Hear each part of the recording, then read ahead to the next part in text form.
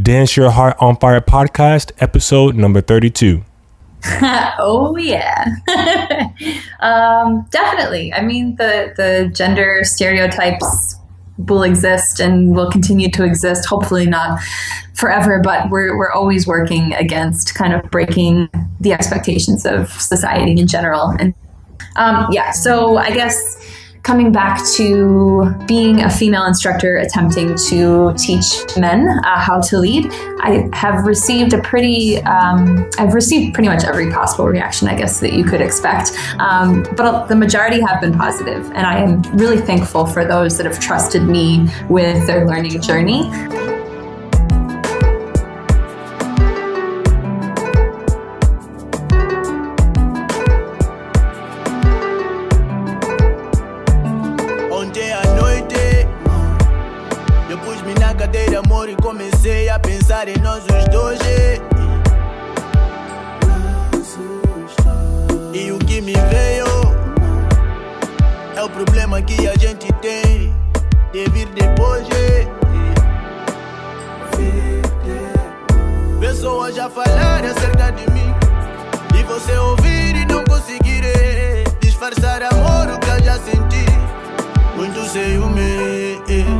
Pessoas já falaram acerca de mim você ouvir e não conseguir eh. disfarçar amor, tá já sentir. Quando sei o eu vou te Welcome to the Dance Your Heart on Fire podcast, the podcast dedicated to inspiring dancers worldwide whose hearts have been touched by music and dance. The universal language of dance and music is spoken by many of us throughout the world. We want to motivate the dancer in you by sharing stories, insights, and ideas to enhance your journey. Join us now with your host, Charles Ogar. Hello, hello, everyone. This is Charles with the Dance Your Heart on Fire podcast, coming at you with another weekly podcast. And today we have a special guest who I have not had the pleasure to dance with. It's like been several years now, and I still haven't danced with this lovely woman, but we vibe musically and on a lot of things and for our love and passion for Kizomba. But um, she recently had me on her show last week. Um, she has a Kizomba radio show, and I let her tell you a little bit more about that. And we decided to do a trade, so she's coming on to the podcast, and we have none other than Miss Elyse with Wiki Wiki Wiki Rock Kizomba. Hello. How you doing? I'm doing very well. Thank you very much for having me. Definitely, definitely. So I don't know. I, I, feel like I'm coming into my, my radio voice a little bit. I wanted to like do like a little DJ mixing, scratching thing. I don't know. You gotta my, get in the song. um, let's go ahead and have you introduce yourself and let our audience know a little bit, a snapshot, if you will, of what you do today. Sure. Uh, so, like you said, my name is Elyse. I am from Rochester, New York, Western New York. Uh, born and raised closer to New York City and moved to Western New York for school and never left. Um, I started my company here called Rock Kizomba. Um, we have been around for about four years now. Um, my partner, Melissa, uh, and I founded the company together out of kind of necessity for a Kizomba community where there was none previously. Mm-hmm. Um, so now we teach weekly classes. We run a studio here. Uh, like you mentioned, I have a radio show dedicated to Kizomba once a week. Uh, we do social events and we kind of travel internationally to, to teach and perform as well. Awesomeness, awesomeness, awesomeness. We have to link up our travels and, and dance because I'm pretty sure they're going to be pretty awesome. But I am ready. Yes, I'm ready too. So I think that the theme for today's podcast is going to be kind of your journey thus far being a female instructor. I know mm-hmm. we talked a little bit about that in the show from last year, and I'll be sure to put a link for that show if you're interested in hearing it. Um, the the show from last week that I did with Elyse, I'll put that in the show notes so you guys can hear it, and I'll also be sure to put in the link so you guys can check in. When is it the show? So if the listeners want to check it out, Elyse. Yeah, so Rock With Me is my weekly radio show. It is every Thursday at 12 noon Eastern Standard Time. Uh, and you can stream live wayoradio.org, W A Y O. Awesome. And if you're lazy, the link is going to be in the podcast show notes. Yeah. Deal. All right. So let's go take a walk down memory lane, Elyse. And Sure. how were you first introduced into Kizomba? So it was kind of by accident. Uh, I had a dance partner about five years ago who was from the West Coast, from Seattle, and uh, he was working on learning English and becoming a little bit stronger in terms of being an instructor in salsa. And we kind of traded my translating skills for um, some dance training. And he and I worked together for about a year. Um, and he kind of showed me Kizomba offhand one day, the little bit that he knew. Um, and I was you know, a couple months into my salsa training and realized that salsa was cool, but kizomba was definitely more my speed. Uh, so it was a, a brief introduction there, but I was definitely hooked from the from the get go. Awesomeness, awesomeness. And how long did it take for you to become addicted?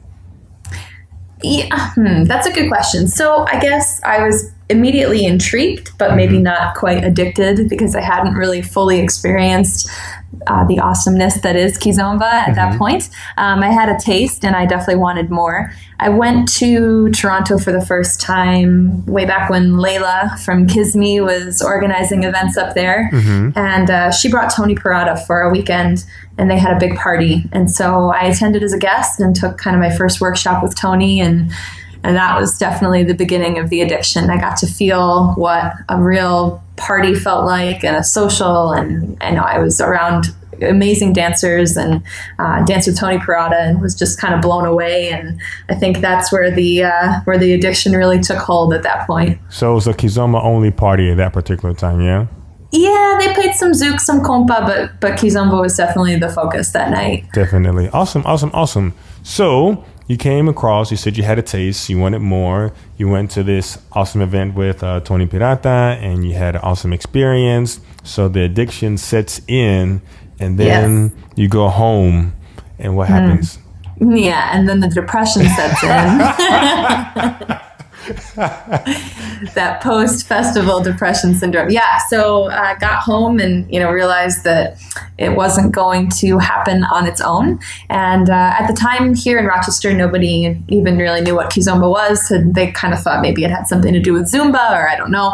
Um, so it was basically um, start something myself or kind of let it die and I, I just couldn't do that i was i had the taste of it and i wanted more and i wanted to see it progress here. Um, so it was kind of out of necessity. Nobody else was going to kind of pick up the ball and run with it. So that was me. That was my turn. All right. So right now there's a gap between how you met Melissa, or maybe she, I know she's an important part of it as well, and this post festival depression after you had the thing with uh, Tony Pirata. So go ahead and let us know how Melissa came into the picture.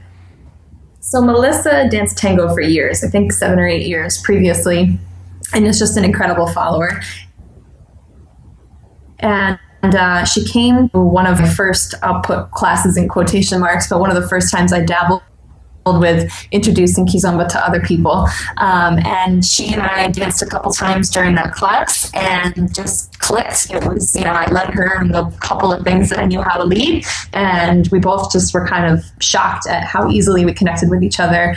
I didn't know what I was doing. She was brand new to it. She was a great follower and just kind of being supportive and going along with it. But we kept in touch. And uh, I approached her when I was getting ready to take the plunge into figuring out how to start a, com- a community here and asked her if she'd be interested. And, and she, for whatever reason, felt like she could trust my vision and kind of went with it. And here we are. I haven't also danced with Melissa. So, Melissa, if you're listening, I'm coming for you as well. so, uh, I'm curious because with my own journey, it was also out of necessity. Um, I didn't really look for an opportunity to teach. Um, I didn't teach anything before, but a studio approached me and gave me the opportunity. So, I'm curious did you teach any kind of dance or anything else outside of dance before you started teaching Kizomba?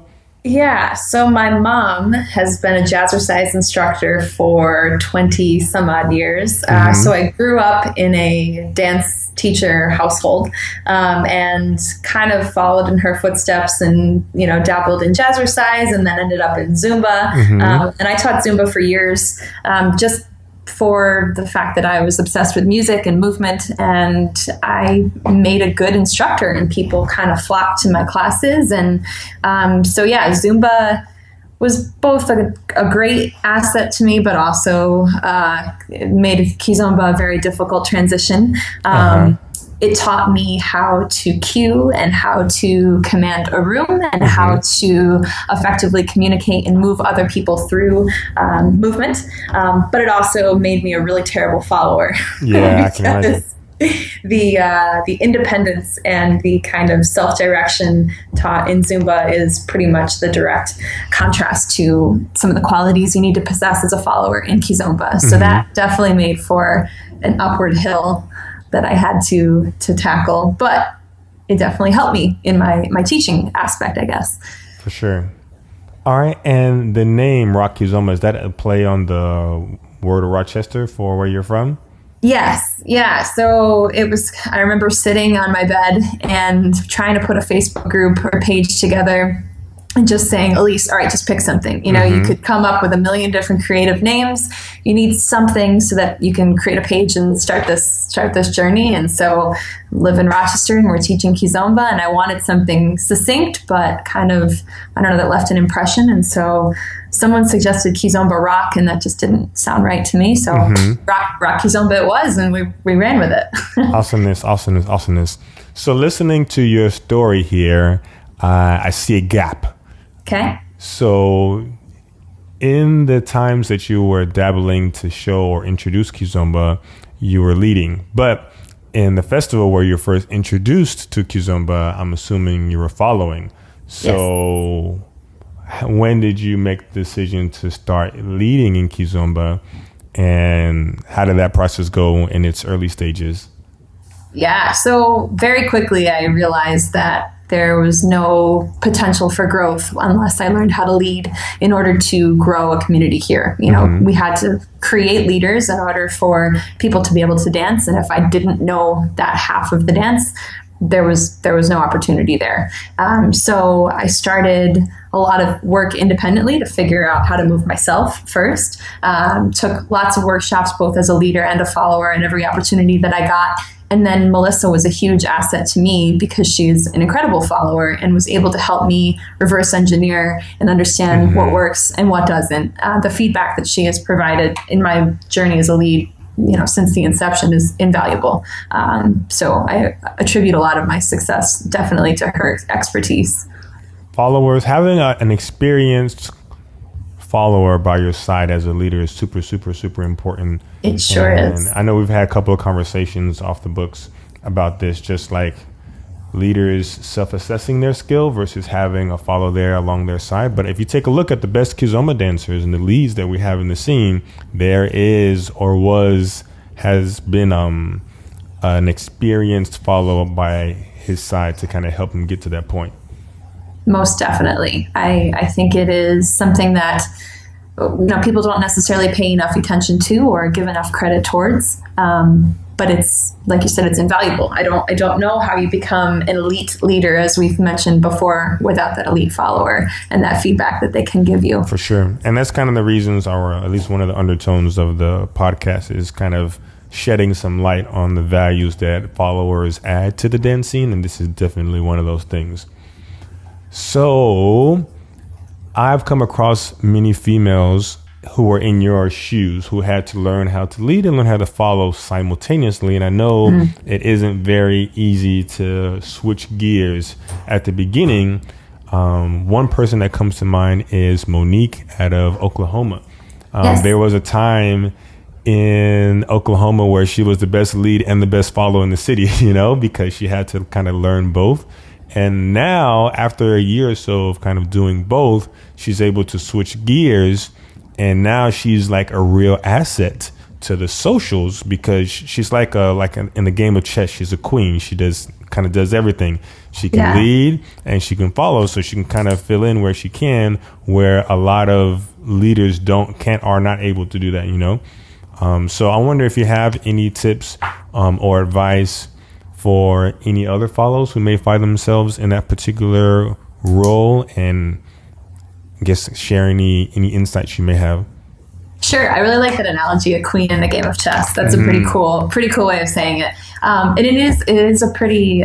Um, I enjoy being able to attend a social, especially now as a leader and a follower. Um, I don't have to sit out much. You know, I get kind of, I get my pick of you know who I want to dance with, and you know let the music decide whether I want to lead or I want to follow. Or um, so, in terms of advice for other women out there, I think one of the biggest pieces of advice that I can uh, that I can give is to be bold and don't be afraid to to experiment. Um, in your biggest moments of insecurity is when you're going to find the most growth when you put yourself outside of your comfort zone and you try something that you don't think that you might you might not think that you might be good at it but in reality if you put enough time into it and you practice you probably will do a pretty good job. Um, a lot of women that i dance with will kind of look at me in shock afterwards and say i didn't know a woman could lead like that you know? And it's you don't know unless you try. And uh, you might not like it and that's fine. It's not for everybody but unless you experiment and put yourself in that position you'll you'll really never know if you can sink or swim Definitely. That's awesome to hear because I know it's not easy switching the gears and kind of dedicating time to do both and things like that. But I feel like in the long run, it definitely pays off in, in dividends to become one of those queens. Certainly. And I think surrounding yourself with like minded individuals is really important as well. Um, I've grown a ton in the past year or so because of the people I think that I've um, surrounded myself with, and finding other women that share that kind of a vision and that support you, um, or men, you know, in that in that role is key. Uh, if you're on an island by yourself and you're or you're trying to do something different, it, it can be not always well received. Um, so, identifying a mentor and somebody that you can kind of look up to and ask questions of and get encouragement and direction from is very important as well. I think that that seeking of a mentor is important on so many levels across life, not just in dance, but like fitness wise or accounting or trying to make more money or just things like that. I think it's really important to have people and have that support system. And that's not really something that you think about, but until you've kind of hit your head on the wall a couple of times, it's like, why isn't this working? But um but Somebody else has gone through it before you, chances are. Definitely. So having a support system in place to help you through those times and, and if you take a look at really, really successful people, they didn't get there by themselves. They they put themselves around an environment that was able to get them to grow to that level, you know? Exactly. So that's really awesome. You learned how to lead and you, you took charge and you were bold, like you were saying before, to kind of put yourself out there. I wonder at the beginning of your journey of starting to teach if you had any fears of wanting to teach other men how to lead and if you ran into any resistance with those. I'm pretty sure you might have some some stories you want to share with us. oh yeah, um, definitely. I mean, the the gender stereotypes will exist and will continue to exist. Hopefully not forever, but we're we're always working against kind of breaking the expectations of society in general. And um, yeah, so I guess coming back to being a female instructor attempting to teach men uh, how to lead, I have received a pretty, um, I've received pretty much every possible reaction, I guess, that you could expect. Um, but the majority have been positive, and I am really thankful for those that have trusted me with their learning journey. Um, you know, I don't, I'm not the best of anything. You know, I, I'm giving everything that I have, and I give my personal best. Um, but uh, you know, I guess it's the typical situations that you would expect. You know, a woman can't do it as well as a man, and a mm-hmm. woman can't move the same way that a man can, and a woman doesn't have the same posture or the same frame or the same physique as a man. How could I possibly learn anything from you? Um, that's definitely been the minority in terms of the response that I got. Uh, it took a while to get the respect, I think, and for people to acknowledge that yes, I can lead and yes, I can successfully teach both men and women uh, in this partner dance. Um, and I think you know, I definitely had to work a little bit harder than than a gentleman might. Um, coming into a class as two women is always it's always an interesting reaction. You know, I'll stand on the side with the leaders, and Melissa will stand with the followers, and everyone kind of gives me a, a quizzical look in terms of well, who am I supposed to be following and what are you doing? Um, so I try and refer to people as leaders and followers, not men and women or ladies and gentlemen, you know, and try and take the gender part out of it from the get go and just identify as the person leading the dance and the person following the dance and allowing those to be fluid roles um, helps a lot. And, uh, yeah, I'm rambling a little bit, but that No, was kind of a, a long-winded answer to I think what you asked me. For sure. Um, I've been dabbling and following as well. Um, uh, it definitely helps when you're teaching to kind of speak from the perspective of both roles. And there's a couple of times in my privates, I'm like, okay, well, I want you to just walk forward and I'm going to give you the intention of what I'd like to feel. And then I'm like, okay, you feel that right there? And now flip it. Now I want you to flip the role. And that definitely helps um, when I'm teaching follows. And for leads, there's sometimes where it's like I can explain till for years and years and years the way something is supposed to feel, but if, until they actually feel it, then they get it, you know? So there've been a couple of times or many times in my privates where I'll take them and, and show them basic one or the force needed to move around and the balance and things like that, and they get it. And that mm-hmm. speaks so much more clearly to them versus me just telling them, you know? Absolutely. And as a as a male instructor, and I, I talked a little bit about this in the, in the show. I can teach all the moves. I can teach the saidas and the shuffle steps and syncopations and all these things, and I can watch them and they can look okay. But mm-hmm. the real stamp of approval is them to make sure that they feel good dancing with you know and i i can't give that perspective on a really high level and that's why it's really important to have a follow there to kind of give that feedback.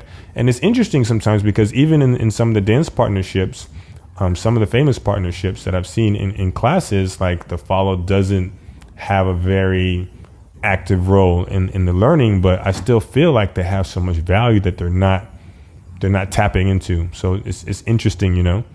Absolutely. It's funny because uh, in, in our dance company in general, we're working through kind of how to structure our classes and provide more effective workshops and, and especially in a larger group setting, how to cater to both the leaders and the followers simultaneously. Uh, and oftentimes I will, I'll do a lot of the talking and Melissa will do a lot of the rotating throughout the class, uh, as well as James, who's another member of our group.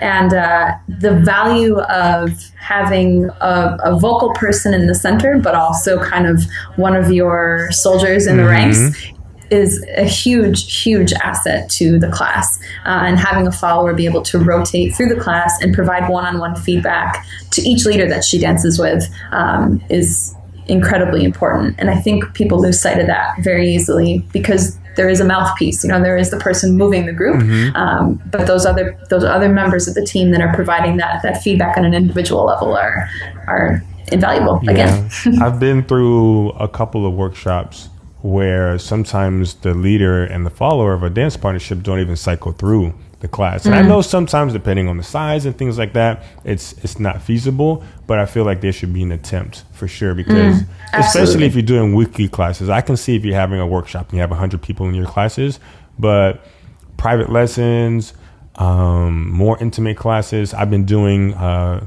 this kind of more intimate learning thing called training chills or focus groups where you limit the number of people so I'm able to give more quality feedback to each person and I don't have to like spread my attention out. And that is a high value, high quality environment for learning, you know? And if you really, really love the teaching aspect, that just kind of speaks to your soul because you're able to touch more people than you are just kind of just quality or quantity wise. I'm sorry.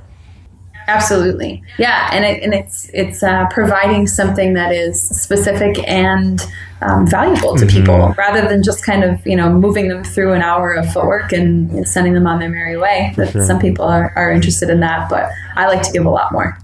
Definitely. That's awesome. Let's take a quick moment to thank our sponsors. Have you been looking to level up your Kizomba, but you don't have the local instructors to take you there? Are you looking for something concrete to practice with your Kizomba partner? Or are you looking for Kizomba lessons that you can take on your schedule and the comfort of your home? If you answered yes to any of these questions, look no further. LearnToKids.com is what you need. Progressive, step by step lessons that you can take at your pace in the comfort of your home or anywhere with a solid internet connection on your PC, Mac, or any smartphone. New videos are added every month. You can try this awesome resource out 30 days free at learntokids.com slash podcast. After the 30 days free is only a low $15 per month. But again, the special offer for the Dance Your Heart on Fire listeners, 30 days free at learntokids.com slash podcast. You won't find this offer anywhere else. learntokids.com slash podcast. And now back to our show. So before we get into your journey on trying to uh, get booked and mm. teach at, at festivals and, and, workshops and things like that outside of Rochester, I wanted to kind of shine a little bit of light on the emotional side of mm. leading and following. I wonder. I've talked to some other female instructors, and they say when they lead, they kind of tap into a little bit of a, of a masculine energy, you know, and when they follow, they they tap into more of a a feminine energy, you know, and uh, it's possible for that energy to be, I guess, possessed by a male or a female. So it's not a gender thing, but there's definitely a vibe that you need when you're leading versus when you're following, you know? Sure. And so I wonder if you have any any insights or realizations that you come across over the years to share.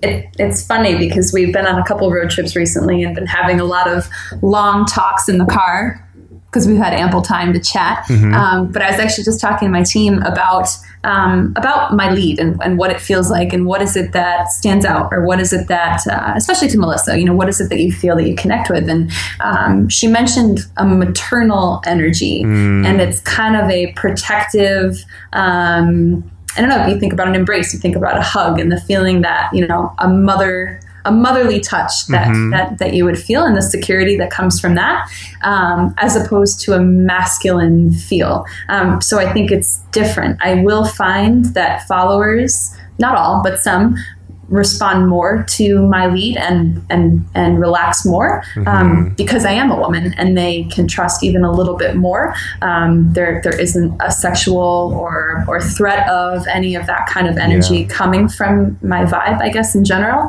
um, and so that allows them to connect a little bit differently. I do tend to kind of I think of it as two different roles that I would play in a in a show, right? Mm-hmm. And I'm as a follower, I, play one character, and as a leader, I play a different character. And so, um, different pieces of my personality will come out depending on which role I'm playing. Um, but I try to remain kind of true to who I am as a dancer, regardless of whether I'm leading or following. I For don't. Sure. It's not just passive and dominant. There's there's a there's a there's a blend in there yeah. between those different energies. But I, I, liked the way she described that that kind of maternal energy, that encompassing, um, you know, safety. I guess mm-hmm. is is something that was and really was, striking to me. I almost like on. I feel like saying that it's also possible for a paternal kind of energy to also be safe. Sure. know? Absolutely. So the common denominator would be safety and kind of like accepting, you know? I don't know. Yes. It's interesting. Yes. Yeah, I'd never heard it posed that way before, so it, it kind of struck a chord with me when you were asking about that that kind of energy. No, I feel like so. There's been this quote that's been on my mind over and over again. I don't. I, I think I just heard somebody like I overheard somebody say like the dance is what happens in between the steps, you know? And I feel like that's why I feel so inspired mm-hmm. to like mm-hmm. do the videos and the kid connection and and the podcast and things like that because outside of the steps there's this big huge world of emotional happiness and and healing and coping sometimes, you know? And be it doesn't matter the steps that you're doing you know but like that emotional part of it is just really really important. And it's hard to give that a voice at a social and it's hard to give that a voice for ample amount of time in a workshop. So I, I love this format of the podcast and the youtube videos that i'm going to be starting and things like that to kind of shine light on that very important aspect of it you know me too. One of my favorite workshops to teach is our Kizomba connection workshop. And there's no footwork, there's no pattern taught. It's it's strictly connection, and it can still be challenging in a group setting. The smaller the class, usually the better that mm-hmm. is received. Um, but I've had really great feedback on on that subject matter, and not a lot of people go there. You know, not a lot of people maybe. I think people are afraid of teaching it honestly because it's not an easy concept to Mm-hmm. impart on somebody else. It's it's a feeling. It's a um, it's not a tangible thing that you For can sure. break down necessarily, um, but it's fun to to get people to experiment with for sure. Yeah, I feel once your your your mind is has been enlightened to that power, it's hard to ignore it. You Yeah. have to you have to give it a voice. Yes. It doesn't feel because you want to share it. Yeah. Like, why, why should I be the only one that gets to experience this? Other sure. people deserve this too. definitely. All right, Elyse, I'm loving the conversation so far. Um, let's go ahead and keep it rolling. And you mentioned that you traveled to a couple of festivals and then workshops in different places and things like that. Have you met any resistance as far as being like a female lead or that person when you come to like when it comes to getting booked at festivals and things like that? It can be tough. Uh, I find that the Kizomba community is relatively accepting when it comes to maybe not such traditional setups for um, partnerships. Um, when I've worked with festivals that are more Latin centered, so bachata festivals or SBK kind of events, that tends to be where I find more of a hurdle in, in getting um, acceptance in as a female instructor or a female pair. Um, in Kizomba only events, to be honest, I really haven't seen a lot of negative feedback about it. I think one of the bigger um, concerns was performing. Um, and so well if you don't have a partner then you know how are you going to perform you know? And so I, I do have a partner and we have performed together and we have a performance team as well that we work on. Um, but that seems to be the biggest complaint i guess is uh, is on the performance side from just from from recent experience. For sure, because it's still relatively a new thing, you know? Definitely It makes sense. yes I'm also curious what percentage of males and females can uh, comprise of your private lessons. For me, like I get a heavy majority of females for my private lessons. So I'm wondering, as for you, I'm kind of curious because you're a female, but then you also lead. Do you find it even balanced? Is do you just find that more women kind of invest in their learning more so, or what has been your experience? I've had a really solid balance between men and women, actually. And uh, I would say in the beginning, it was like when we first started Kizom in Rochester, it was almost exclusively men because they were mystified by the leading process in general. And they wanted to learn fast and they wanted to get good enough to get by. Um, then we kind of had to transition into the followers, realizing that it's not salsa or bachata and that the lead is very different and there's an art to the connection. And so I kind of saw a wave of females kind of come through. Um, but kind of now, as we're more established and we've been around for a little bit longer, it's a pretty solid mix. I get a lot of men coming to me looking for um, someone that can teach them how to lead, but also give them feedback on their lead as a follower. I also have a lot of women come to me that want to be led by me. They don't necessarily come for lady styling or you know technique of that sort. sure. They're they're looking for you're a follower, but you know how to lead. How do I do a better job? Um, so recently, it's I'm, I'm excited. It's a really good good division between men and women seeking private lessons here, That's and a lot awesome. of a lot of couples too, which is encouraging. Yes, yes, yes, yes, definitely. I've had a couple of private lessons where I had to become Dr. Phil. I'm not sure if you have because of the dynamic. That is always fun. Is what, I, I prefer them in a group class, and then I make them stand on opposite ends of the room, and then Yeah. come back together at the end. It's crazy. So um, I know with your Kizomba journey thus far, you also became a mother. So I'm also very curious to hear if there's any any insights on your passion and your drive for Kizomba and the way that you saw it before becoming a mother and how that has changed because you, you, you mentioned before there was a maternal kind of energy to your lead. Mm. So I wonder if that's always been the case or was that heightened after you actually became a mother? I'm mm. curious. Mm, I have to ask Melissa on that one, but no, uh, I think. Well, first of all, don't uh, dancing when you're pregnant is one heck of an experience. your tarshing is non-existent after a couple months, but uh, but after the fact, um, it has made me reprioritize a lot and kind of re focus and kind of set my priorities anew. Um, before we were kind of doing this and involved in everything and doing social events and teaching and travel and private lessons and performing and you know trying to do all of it. Um, and the fact of the matter is there has to be balance especially when family is you know part of the picture. And so personally i've kind of taken a step back from organizing social events. And i think that my time for the community is best spent teaching. Um, so you know our weekly classes and events for our studio have become my primary focus. Um, i've been delegating a lot more and my team is amazing at kind of t- taking the torch and running with it as well and, and diversifying our offerings. So I'm really fortunate that I have James and Melissa as uh, assets to our company. They're they're they're my partners, um, and so I think it's it's forced me to kind of self-assess. What are you good at? What is your what is your biggest strength, and what is the best thing that you can contribute? Um, so my radio show uh, accidentally became Yeah, let's talk a little about that. Sure. Um, so I kind of fell into that opportunity. My studio is in the same building as WAYO Radio. It's a low frequency, uh, volunteer based radio station, and they have over 200 shows per week that are uh, actively participating, all by volunteers. Kind of knocked on the door one day and, you know, introduced myself and just kind of poked my nose in and wanted to see what was going on.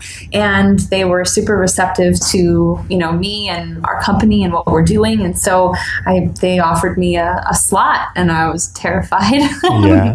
my hands shook through the, the whole first show, um, completely outside of my comfort zone. But that's kind of been the theme of this past year. You know, major life changes, becoming a mom, and, and mm-hmm. all, you know the, the challenges that come along with that. And you know, why not try something new? And uh, I'm really loving it. It's going far better than I could have imagined. It's creating avenues for um, people to connect and giving a voice to some people that might not have had an opportunity to speak, helping connect other communities that are maybe kind of starting out where we started, um, and just like uh, very similar to what you're doing, just creating new forums in which people can can talk about what they're passionate about and, and share the knowledge and some music. You know, I, I'm a bit of a music freak, so getting to put some of my some of my favorite stuff out there and support other artists is is really fun.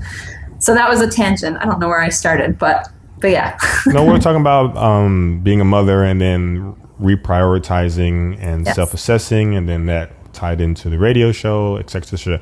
Um, I also want to let our audience know that you do have an actual home-based studio that you Yes. opened up with um, when you first started.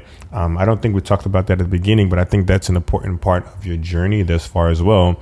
Um, can you share a little bit about that before we Sure. say That goodbye? was a huge leap, um, opening our own space. We had rented space and kind of bounced around and taught in clubs and taught in bars and all over the place, but never really had a home base. And so I found kind of an industrial building that was carved up into artist space and glass blowers and all kinds of different um, artistic venues, as well as a radio station. Um, but I found this space and and you know decided to take the plunge and sign a lease and sign up for monthly rent and Yeah. um, yeah so i we furnished it and you know the first thing i put in there was a couch and like i need this to be a comfortable and safe environment for people and i want people to have somewhere they can come and and hang out and um, feel like they belong somewhere For sure. um, so yeah, so we we let's see, it'll be two years in January that we've been in that space, um, and I love it. It's, and I'm curious, how old is your daughter?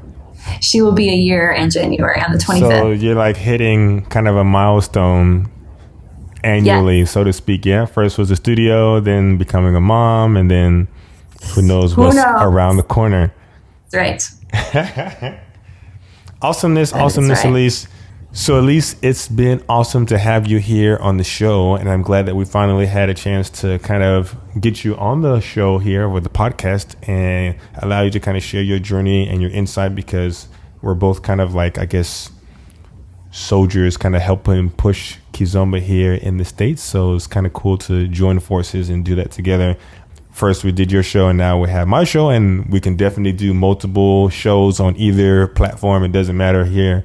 Um, but like you said before, creating those forums to kind people to allow people to, I guess, give that voice to the, the awesome connection of what it is that they're feeling with this beautiful dance of Kizomba is, is very, very important. And with it being so small in the United States, I feel these forums are really, really important to get more people in the door and touch more people, reach out to more people. But then once they're in the door and they're find Kizomba to keep them there, you know, because obviously you go through ups and downs as with anything in life, you know. I think it's important to kind of give that support system, like we said before, um, for these people so they can continue to embrace the dance and learn the dance and, and kind of grow in skill and also in self awareness as Absolutely. with themselves.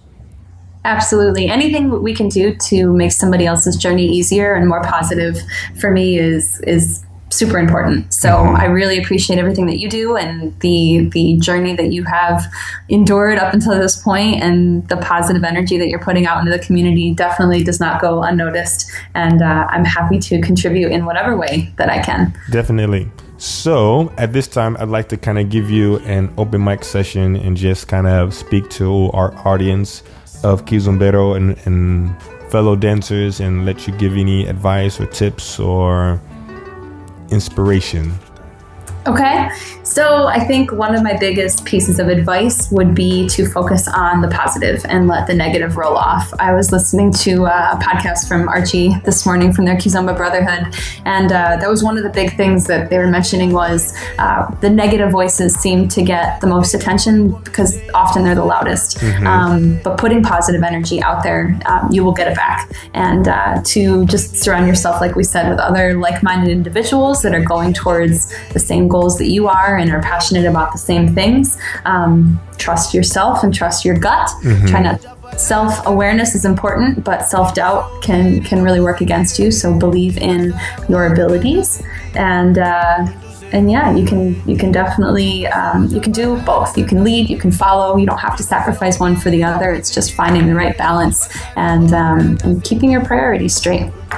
That's awesome. Beautiful words, beautiful words by the lovely you. Elyse. Um, if our audience wants to reach out to you, what's the best way for them to do so?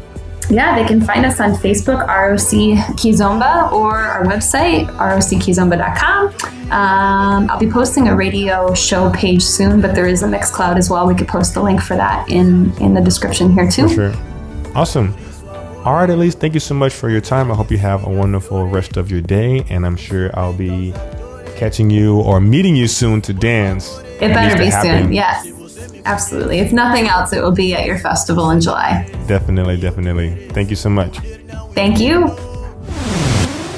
Thank you for checking out the Dance Your Heart on Fire podcast today. Be sure to check out neokizomba.com for links to everything that we chatted about today, as well as some awesome free resources to enhance your Kizomba journey.